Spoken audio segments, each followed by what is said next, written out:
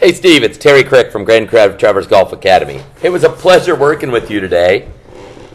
Um, let's talk about the golf swing a little bit. Keep it simple. Don't let the feet get too wide. Don't let them get wider than the shoulders. Grip's pretty good. Posture's pretty good. Alignment's pretty good. So, what has to happen in the golf swing? The upper turns it back to the right foot.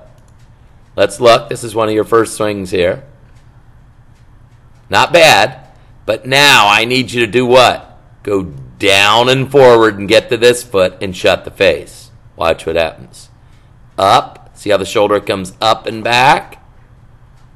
And the right hand is underneath. The face isn't shut at all. Ball has to go right. The good news is we talked about this. We got you doing some impact drills, letting the arms swing much more loose and relaxed. So if you look over here to the right, See, you cheated over here. Look where your weight really is. It's all back here on this foot. Still back there. See how the body's tilt is this way?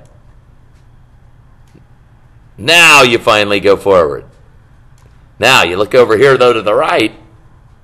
Set. Turn, right foot. Now go forward and shut the face. Yes. Now watch the face shut. See how the hands come over here and the face is shut.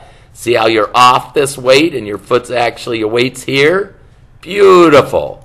Let the upper turn it back. Let the lower push it forward. Shut the face. Remember, if the chest opens, the left shoulder comes up, the face of the golf club can't close. You did well. If you have any questions at all, don't hesitate to call 231 360 8905. Thanks, Steve. It was a pleasure.